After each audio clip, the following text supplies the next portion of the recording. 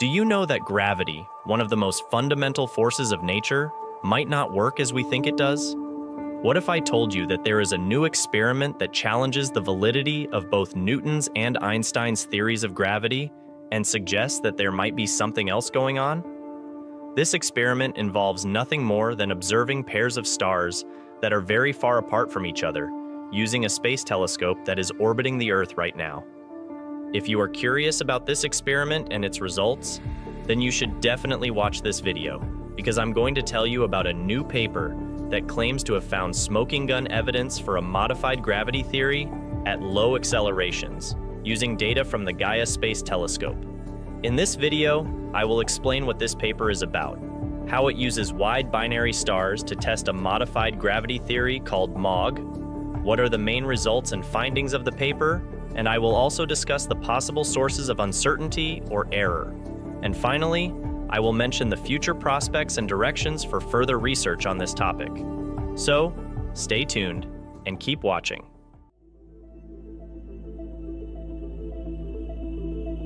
Gravity is one of the most familiar and yet mysterious phenomena in nature. We all experience gravity every day, as it keeps us on the ground and makes objects fall when we drop them. But what is gravity really? How does it work? And how can we describe it mathematically? For centuries, scientists have tried to answer these questions, and they have come up with different theories of gravity. The two most famous and widely accepted ones are Newton's universal law of gravitation and Einstein's general relativity. However, even general relativity is not the final word on gravity, as it faces some problems and challenges, especially at very large and very small scales. For example, it is not compatible with quantum mechanics, the theory that describes the behavior of matter and energy at the atomic and subatomic levels. It also cannot account for the observed accelerated expansion of the universe and the apparent discrepancy between the amount of visible matter and the amount of gravitational mass in galaxies and clusters of galaxies. These problems have led some scientists to propose alternative or modified theories of gravity that try to solve or avoid these issues by introducing new concepts or modifying existing ones. One of these alternative theories of gravity is called scalar tensor vector gravity, or MOG for short. This theory was proposed by John W. Moffat, the author of the paper that we are discussing in this video, in the late 20th century, and it is based on the additional gravitational degrees of freedom the scalar field g equal gn, 1 plus alpha, where gn is Newton's constant, and the massive spin 1 graviton vector field vector field phi mu. These fields modify the gravitational interaction between masses and make it depend on the physical length scale or averaging scale L of the system. The main idea of MOG is that gravity behaves differently at different scales, and that it can explain the observed phenomena that are usually attributed to dark matter, without invoking any exotic or invisible particles. In particular, MOG predicts that gravity is stronger than Newtonian gravity at very large scales, such as galaxies and clusters of galaxies, and that it can account for the flat rotation curves of spiral galaxies, the gravitational lensing of distant objects, and the structure formation of the universe. On the other hand, MOG predicts that gravity is weaker than Newtonian gravity at very small scales, such as the subatomic level, and that it can avoid the singularity problem of general relativity and be compatible with quantum mechanics. But what about the intermediate scales, such as the solar system and the wide binary star systems? How does MOG compare with Newtonian gravity and general relativity at these scales? This is the question that the paper tries to answer by using the data from the Gaia Space Telescope. One of the applications of the Gaia Space Telescope is to study the orbital motions of long-period, widely separated binary stars, usually referred to as wide binaries in astronomy and astrophysics.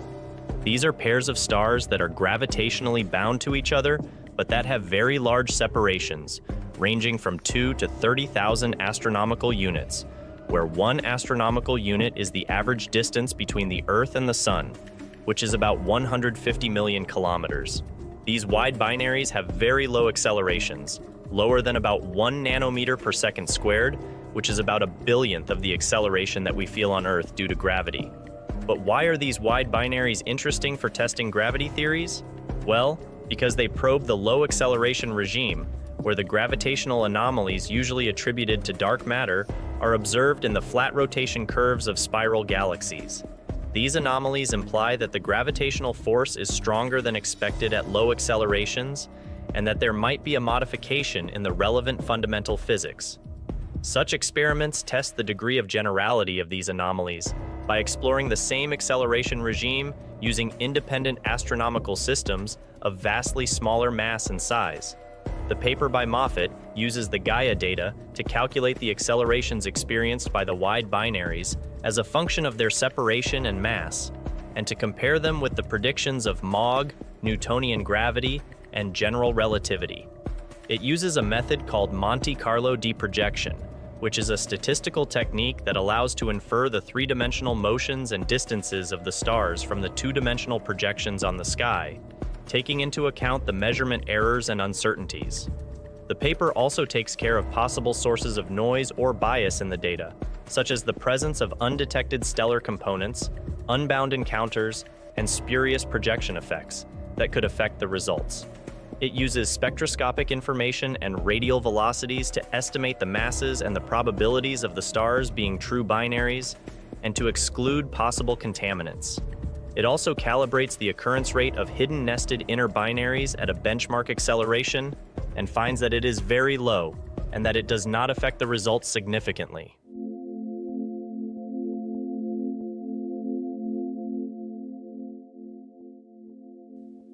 The main results and findings of the paper are as follows.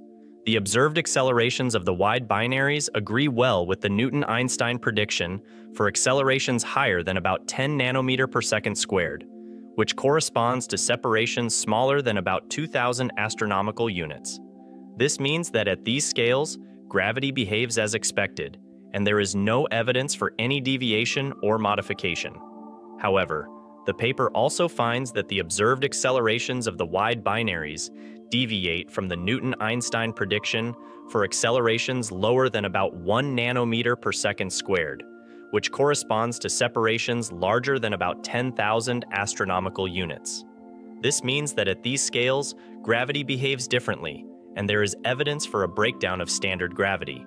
They find that the deviation is in the direction of higher accelerations than expected, and that it is about 30 to 40% higher than the Newton-Einstein prediction for accelerations lower than about 0.1 nanometer per second squared, which corresponds to separations larger than about 30,000 astronomical units. This means that the gravitational force is stronger than expected at low accelerations, and that it is consistent with the distance and mass velocity scalings observed in spiral galaxies. They also find that the deviation is very significant, meeting the conventional criteria of 5 sigma for a scientific discovery. In a sample of 20,000 wide binaries within a distance limit of 650 light years, they found that only 0.2% of the wide binaries have accelerations that are lower than the Newton-Einstein prediction, while 99.8% of them have accelerations that are higher than the Newton-Einstein prediction. This means that the deviation is not due to random fluctuations or measurement errors, but to a real physical effect. The paper also explains that the MOG prediction agrees very well with the observed accelerations of the wide binaries, for all the range of separations and masses, and for all the values of the MOG parameters that are consistent with the previous studies of galaxies and clusters of galaxies. This means that MOG can explain the deviation from standard gravity, and that it can provide a unified description of gravity at different scales without invoking dark matter. These results and findings are very important because they challenge our current view of gravity and they suggest that there might be something else going on that we don't fully understand yet. They also open up new possibilities and questions for further research, such as how robust and reliable are these results, and how can they be confirmed or refuted by other independent observations or experiments? How can MOG be tested and constrained by other astronomical systems, such as globular clusters, dwarf galaxies, and galaxy clusters. What are the implications of MOG for the nature and origin of dark energy and the fate of the universe? These are some of the questions that the paper raises and that we will explore in future videos.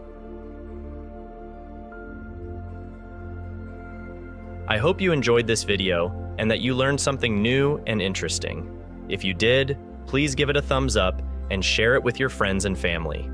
And if you want to learn more about this topic and other topics related to astronomy, astrophysics, and cosmology, then please subscribe and hit the bell icon so that you don't miss any of our upcoming videos. Thank you for watching and see you next time.